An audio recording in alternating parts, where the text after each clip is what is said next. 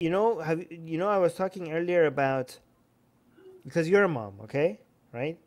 And you love your children so much, right? Yep.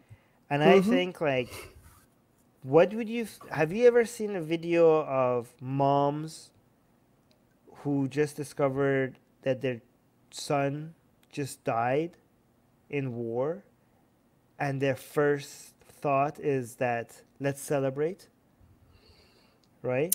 I haven't What do you, seen like- them, but I've heard of it. Yeah.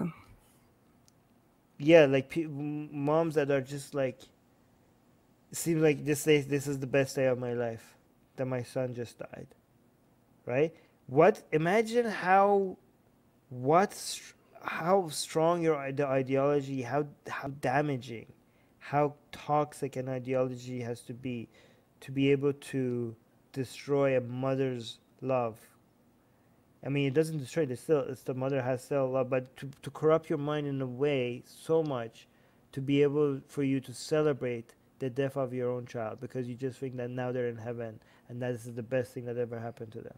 Yeah.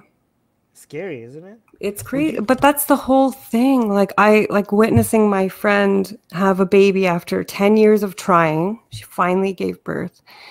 And this really are like teacher uh lady came to see the baby and literally looked at her and said, "You must not love this baby more than the prophet." Like right. it was like what the heck but she was like she felt good about that she was like i'm so glad she told me that because I Yeah. I w- I was in danger of loving this baby more than the prophet it was like this so when you are really that in tune with what you have to believe man like that's what you'll do it's really crazy That's crazy. That is sick. hmm Um, yeah, I wanted to, I wanted to read Fatima's comment, but it's really hard to do a segue from what you just said. To go from something, so, to go from something so dark that you mentioned to something. but that- that's the whole cult thing armin that's what i'm saying like i thought that way too like i was sitting Right. there analyzing myself like okay. do I love the prophet more than myself? And you're so scared, like, I think I love myself more. Like, no, like I have to. Like it's you're you're really putting yourself in this place. Wait, so you felt guilty for? Oh gosh. Yeah. We would on. sit there in a halaqa and be like, man, like, and we'd be analyzing ourselves and be like, we're so bad. Like, we're just, we have to love the prophet more. And then we like start studying the Sirah like really hardcore in, in order to force ourselves to love him so much. It's, really.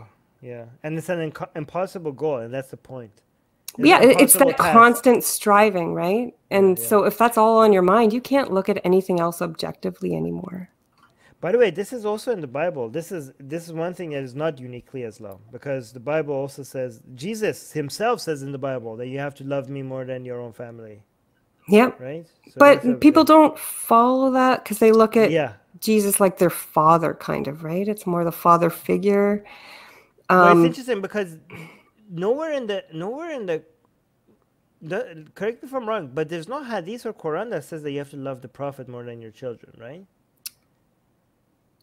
there's the one that says love them more than yourself. Yeah, but not more than your That's uh, right. But I guess that would be implied, right?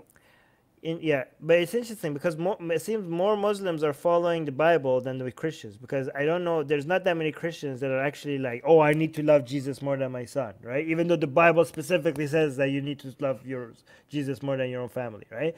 But, the thing is, like, is Yeah. um, Christianity tells you though that you're you're already forgiven because of Jesus. So it's not like you're constantly but striving not for the favor. But you're not with Jesus unless you love him more than your your son or your daughter. Jesus says in the Bible that you're not with me if you love your son or your daughter or your mother or your father or whatever more than me. That's so weird. We never really looked at it that the same way, or I didn't anyway.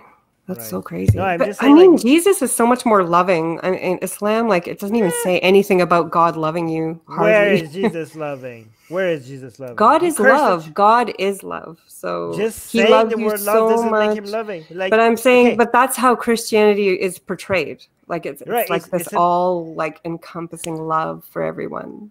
it sounds like the boyfriend that keeps beating his girlfriend and he says like I'm doing this because of I love you. right? Because I yeah.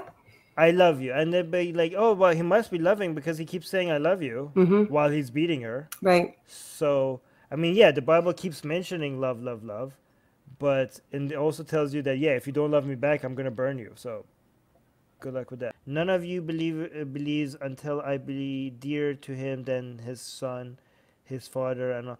wow, Soha.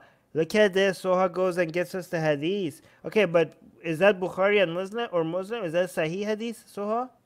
Is that by any chance a Sahih hadith? Soha. so like yeah, but thank look at this. Soha is like just went and found the hadith that shows that in Islam is also like this.